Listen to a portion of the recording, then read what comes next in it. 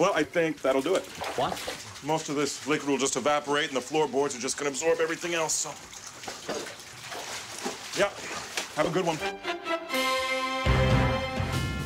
ESPN, serving football fans everywhere. Brought to you by Fountain Valley Body Works. Voted the best body shop in Orange County for 37 years and nearly a half a million vehicles.